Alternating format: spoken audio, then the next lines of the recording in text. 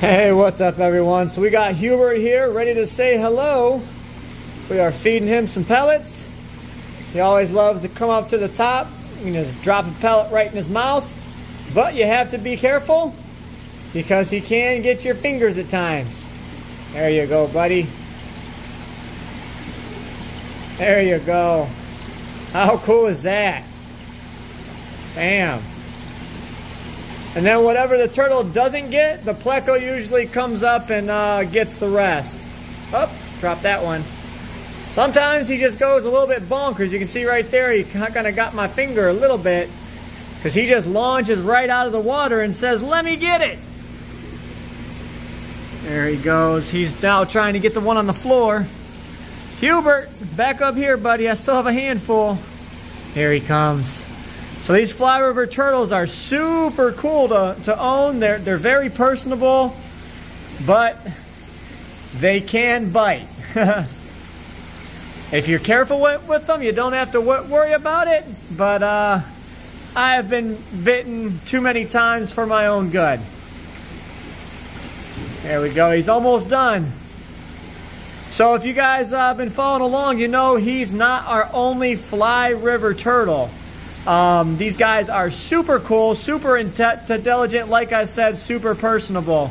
I've taught him to every time I come up and I boop his nose, he comes up for, for food. And that's how I can do this whole hand feeding type thing. And uh, there we go. They just want a whole handful of algae wafers. And he's like, come on, Dad, where's the good stuff? Give me the good stuff. So, uh, yeah, we're just going to go ahead and do a little video on uh, facts about the Fly River turtle and how I think they're so personable and so, so cool. You guys know we have Hubert right here in the 650 gallon tank. Um, he just kind of sits here because he is, uh, I keep saying personable. He's most personable because he'll come up and he will hand feed. The other turtles don't really do it so much. I worked with Hubert for quite a long time to be able to get him to come up and eat like this. So uh, that's why he is back in this tank. Now we have another Fly River turtle over here in the 4,400 gallon tank. You guys can see that they kind of just glide through the water and it's super cool when they come down to, to the bottom. They kind of drop their back end like they're coming in on a landing strip and they're in an airplane. See how they stick them back legs straight down? Well, they'll come cruising in, they'll set their back legs down and just go boom, right on the bottom. Let's see if uh, she'll do it here. She is going down to the bottom. But they're so graceful in the, the, the water. These are the uh, only species of fully aquatic tur turtles. They never come out of the, the, the water. They don't need to come out and bask. The only time that they, that they will is just like a sea turtle. They will come up onto the sandy beaches and they will drop their eggs. In this case, the Fly River turtles are from Papua New Guinea, so uh, you can kind of imagine what kind of substrate is on that, their beaches. It's like a sandy, sil silty mix, but that is far and few between that these guys actually come out and breed and stay out of the water. You can see that giraffe cat's kind of messing with the turtle. Not nothing aggressive, he's just looking for food. But this video is about these guys right here.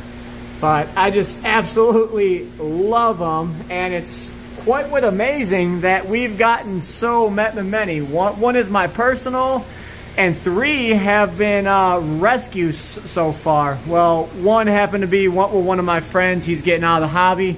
Asked me to hold on to his Fly River turtle for him.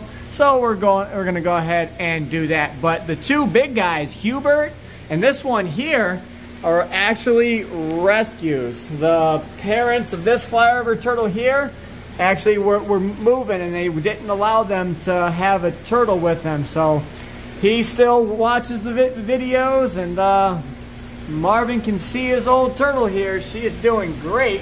She is loving life in this huge, awesome tank. Um, she eats what well for us, as you, you can see. Kind of a flawless tur turtle, if you ask me. The shell is per perfect. The fins are perfect. It's not, not too fat, not too skinny. So definitely a beautiful turtle to, you know, watching your aquariums. It was on my bucket list for a very long time. and now I've ha had one for over 10 years. These guys are just awesome creatures, if you ask me. But while we're on the topic, let's go over here and talk about some other turtles. As you guys can see, we did get some new fish in. There's red tails here.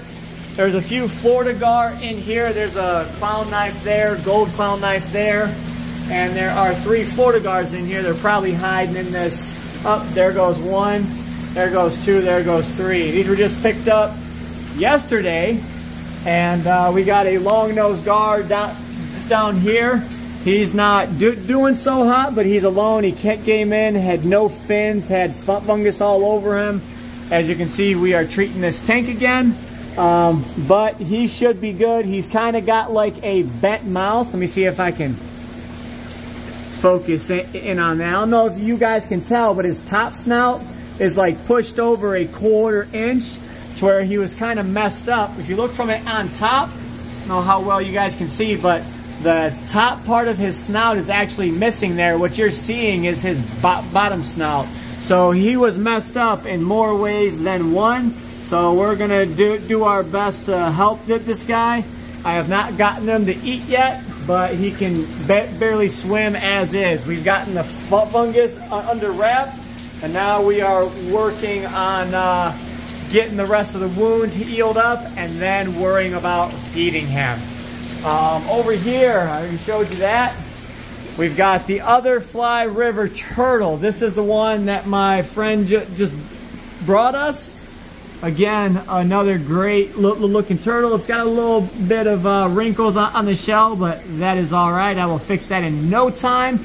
But there is not a whole lot wrong with it. This guy, he is a super chunker, and he is only a few years old. So definitely love the Fly River turtles. They are super cute when they are young. They got them little pig nose. That's why they're called the pig nose turtle. They are super adorable. But you guys might notice that we have this Vittatus tigerfish up here. This was also picked up yesterday. Got beat up a little bit in transport, but all in all, he is doing well. So I'm gonna let him quarantine in here with the, the, the turtle and uh, they can both heal up once I get this guy on to do some shrimp. I've got a tank picked out for him already and uh, shouldn't be too stressful on him and he can go right into it. Actually, both of these the Fly River turtle and the Vittatus tigerfish are going to come over here into the 600 gallon tank. So you, you guys remember we've got uh, the albino ray, we've got the black diamonds, the armatus, um, that's pancake over there. Sorry, I, I forgot got the name for a minute, but we've got uh, butthead over here. This is one of the two arapaimas that we kept. You guys remember we got rid of the other one to my, my friend's pond. And this is uh, the Armatus. So if you guys remember, we had just picked up this Armatus. This was the bigger of the, the two. This was uh, donated to us by a guy up in Michigan. He's actually one, the one that just called and had us pick up the Vittatus tigerfish. You've seen how well the Armatus was doing. He knew the tigerfish needed a lot larger tank, so uh, he called his boys up at Ohio Fish Rescue. So we went and picked them up yesterday. So I would like to put that turtle and the Vittatus tigerfish in this 600 gallon tank. This is a little bit more mellow and peaceful. So the tigerfish should come in, do, do, do well. He's with, with an old tank mate. They got along just fine. And uh, who knows, I might have the Arapaima out of here by then. Alrighty, last but not least, we have the last Fly River turtle in here. Now, you guys can tell, do you see that little notch right up there on the top of his shell? That is actually not 100% right. There's a little bit of something wrong with him. It's not nothing too extreme. It can be fixed, and I'm in the process of fi fixing it. It happened pretty abruptly.